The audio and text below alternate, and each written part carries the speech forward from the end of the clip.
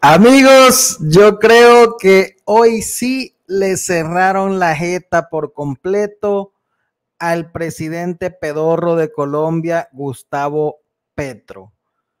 Creo que ahora no se va a animar a regresar por el vuelto. Después de que Nayib Bukele le metiera una tremenda agüevada, este señor todavía tuvo el valor de responderle con esta gráfica, con estas estadísticas. Y esto fue lo que le puso, miren. Para tu conocimiento te envío esta información.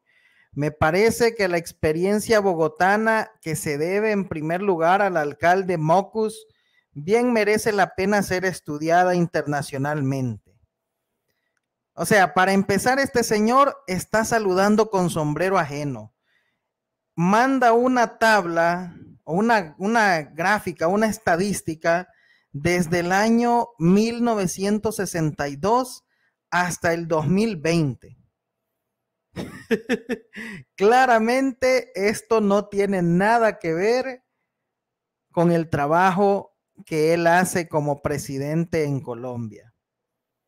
Pero lo más gracioso de esto es que aquí pone que hay una tasa, dice, de 13,3 homicidios por cada 100 mil habitantes. Miren, yo creo, yo esperaría que después de, esta tremenda cerrada de gente, este señor ya, ya se vaya a dormir. Es más, yo creo que ya con esta huevada que le metimos, se quedó ya quieto, porque yo me fui a revisar su cuenta de Twitter y déjenme decirle que esto fue lo último, hace una hora. Hace una hora fue lo último que publicó y yo creo que no, no pudo con todo, no pudo con la avalancha de ahuevadas que se le vino encima. ¿A qué me refiero con avalancha de ahuevadas? Miren, pues les voy a mostrar esto. Resulta que el diputado William Soriano le sacó los trapitos al sol a este presidente pajero y lo dejó todavía peor que Nayib Bukele. O sea, Nayib Bukele lo, lo mayugó, lo, lo arrastró, lo destartaló, pero William Soriano creo que le vino a poner el golpe de gracia. Miren esto. Esto le puso William Soriano a este señor, miren. Le pone, El Salvador, gobernado por Nayib Bukele, 496 homicidios en el 2022. Colombia, gobernada por Gustavo Petro, 13.058 homicidios. Hay mucho trabajo por hacer no busque perder el tiempo en un foro. Fue madre, gente, qué reventada le pegó. Miren, si hasta, hasta aquí se escuchó el cachimbazo que le dio. Miren, y aquí está, ve, por, por si, por si piensan que es invento. Aquí dice, ve, Colombia registró 13 mil homicidios durante 2022. Y sí, Gustavo Petro eh, comenzó a ser presidente desde el 2022 en Colombia. Imagínense, todavía tiene el valor este señor de, de alardear y saludar con sombrero ajeno. Pero no solo eso, vino William Soriano y compartió, compartió cuántos homicidios han ocurrido en Colombia desde que Gustavo Petro es presidente. Miren esto. Vean esto, gente.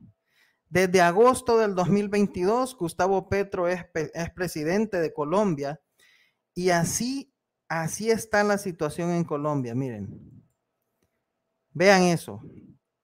Agosto 899, septiembre 923, o sea, en vez de bajar, subieron todavía más. Miren, hasta apenas en enero, apenas en enero, bajaron un poquito. Pero vean, desde que entró Gustavo Petro, en vez de bajar, subieron. Miren. Y no solamente esto, cualquiera pudiera decir que esto es invento de William Soriano. No, William Soriano incluso compartió una tabla donde se muestran, aquí se las voy a mostrar, miren, él, él compartió el enlace para descargarlo. Esta es la tabla, miren, con las estadísticas de enero del 2023. Miren esto. Enero del 2023, amigos. Vean. En enero del 2023, incluso en esta tabla, aparecen, miren, aquí nos vamos a ir hasta el final, 1065 en total, solamente en enero. 1065 muertes en enero, amigos. ¿Cómo la ven? ¿Cómo la ven? Y todavía este señor, yo creo que ya con esto ya va a tener, ya, con esto ya va a tener para irse a dormir tranquilo. Dudo mucho que este señor venga a querer reclamar más o a querer quedar más en ridículo. Incluso en el 2022 hubo una tasa de homicidios por cada 100 mil habitantes. Miren, aquí está, miren. Y lo pueden ir a buscar ustedes si quieren. Miren, esto estuvo actualizado el 21 de enero del 2023. Homicidios en Colombia por cada 100 mil habitantes. Lo pueden buscar ustedes mismos. ¿Ok? Mire, una tasa de 26,9 26,9 amigos. Esa es la tasa de homicidios por cada 100 mil habitantes en el 2022 en Colombia. Si no me equivoco, en El Salvador estuvimos como a... Vamos a ver, vamos a buscar aquí tasa de homicidios por cada 100 mil habitantes El Salvador. 2022. A ver, aquí está, miren. La tasa de homicidios por cada 100 mil habitantes en El Salvador fue de 7,8. ¿Ok? 2022 cerró su con una tasa de homicidios eh, de 7,8 por cada 100 mil habitantes. ¿Cómo la ven? Ahí está. Ay, miren, es que por eso no es bueno andar de trompudo uno. y saben qué es lo más gracioso? Hay gente de Colombia que trató de salir a, defender a este señor, como, como esta abogada, miren, esta es una abogada colombiana, miren, esta abogada trató de salir a defender después de la huevada que le pegaron, dice, El Salvador tiene 6 millones de habitantes aproximadamente, Colombia 50 millones. Se debe comparar porcentaje para dar siquiera un mínimo acercamiento. Pues no, señora, porque se está calculando por cada 100 mil. O sea, aquí no importa. Y es más, es que miren, yo creo que las vidas humanas no son números. Aquí no importa si un país tiene 6 millones y el otro tiene 50 millones. Lo que importa es que en ningún país nadie, ni una sola persona debería perder la vida a manos de la delincuencia.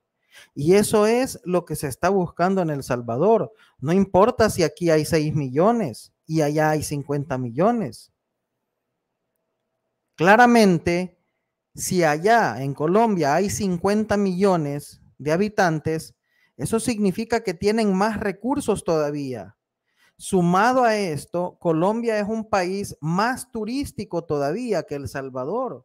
Tienen más ingresos. Eso significa que tienen más billete para combatir la delincuencia.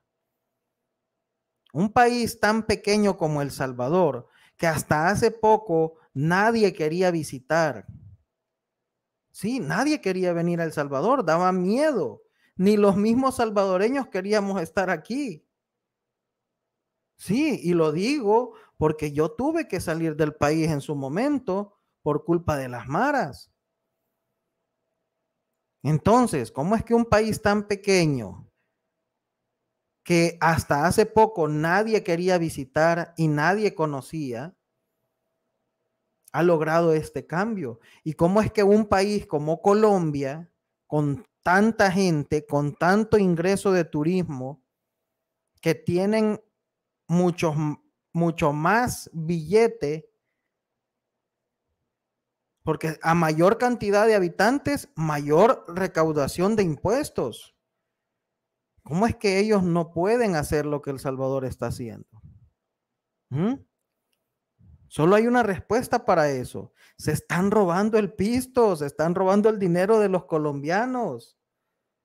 Es que esto lo puede ver cualquiera. Sí. Vean. Ahí está, mi gente, para que vean. Hoy sí, yo creo que con esto ya va a quedar quieto. Y si no queda quieto con eso, pues lo vamos a seguir. Miren, yo creo que ni siquiera a Nicolás Maduro le pegamos esta arrastrada. Ni siquiera a Nicolás Maduro. Pero si este señor quiere seguir tocándole los huevos al toro, como decimos, pues los salvadoreños no nos prestamos. y ojo, otra cosa, por si alguien se pregunta, miren, yo en un principio yo me puse a, pensar, ¿por qué será que, que esta gente está atacando tanto a Nayib Bukele? Bueno, pues aquí está la respuesta también, miren. Ahí está la respuesta, miren. Esta es la respuesta. Al parecer, este señor, eh, Gustavo Petro, era un delincuente de la guerrilla eh, que participó en muchos crímenes atroces, ¿verdad? Secuestros, torturas, un montón de cosas, ¿verdad? Y es amigo de los otros terengos de aquí de, del FMLN, ¿verdad? Ahí pueden ver esta foto con Damián Alegría en el 2014 y aquí pueden ver otra foto, ¿verdad? Con el sobado este del Chino Flores. Así que yo creo que ahí, ¿verdad? Podemos ya sacar conclusiones de por qué este señor está tirándole tanto a Nayib Bukele.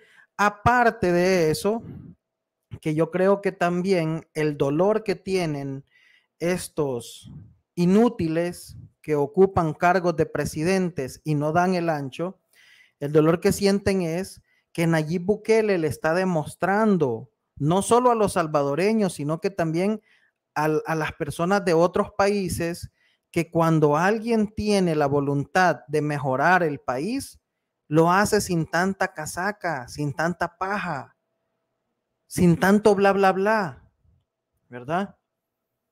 Eso es lo que le está doliendo a todos. Y les aseguro que este no va a ser el último presidente latinoamericano que le tira a Nayib Bukele. Ya le tiró el de Costa Rica. Ya le tiró este, Nicolás Maduro. Les aseguro que van a salir muchos otros presidentes latinoamericanos. Le tiró el de Chile. Van a salir muchos más, porque Nayib Bukele le está demostrando a la gente de toda Latinoamérica que las cosas se pueden hacer bien con un poco de, bueno, no, con, con mucha voluntad. Con un poco no, con mucha voluntad. En Latinoamérica todos los presidentes tienen la maña de prometer, prometer, prometer y a la hora de llegar no cumplen. ¿Por qué? Porque esas mismas promesas las guardan para el próximo periodo, para el próximo presidente. Y así pasan los años, pasan las décadas. Así nos tuvieron aquí, Arena y el FMLN. Las mismas promesas que hizo Calderón Sol, las hizo Tony Saca, las hizo Funes, las hizo Salvador Sánchez Serén, y ni uno de ellos cumplió. Llegó Nayib Bukele y está poniendo el ejemplo en Latinoamérica. Y eso es lo que no quieren permitir estos inútiles. presidentes pedorros como este señor, que no dan el ancho para ese puesto, tienen miedo de que la gente despierte, que les meta una patada en el culo y que los mande a la fregada. Por eso también están atacando y no va a ser el último. Pero bueno, un saludo muy grande para todos los colombianos y si ven este video, pues les deseamos lo mejor. Esperemos que algún día también ustedes puedan tener un buen presidente como el que tenemos, gracias a Dios, aquí en El Salvador. Y pues buena suerte con, con este señor que, que tienen ahora, ¿verdad? Compartan mi gente, bendiciones, que tengan una feliz noche. Nos vemos hasta luego.